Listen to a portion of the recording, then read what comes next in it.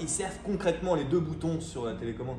Alors, sur la gamme de nos motos routières, comme les 1250 et les R18, le bouton du haut sert une première fois à verrouiller la moto, une deuxième fois à mettre l'alarme.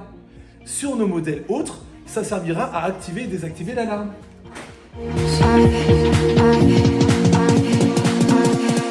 Sur mon tableau de bord, il y a marqué pile de télécommande radio faible. Comment je peux faire? Deux solutions.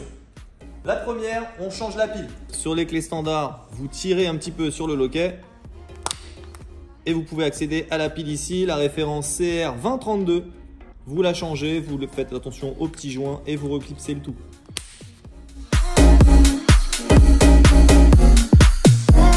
On n'a pas de pile sous la main. Le concessionnaire nous a fourni le double de clés, petite clé en plastique que vous pouvez positionner à différents endroits suivant les modèles. On fait le tour ensemble.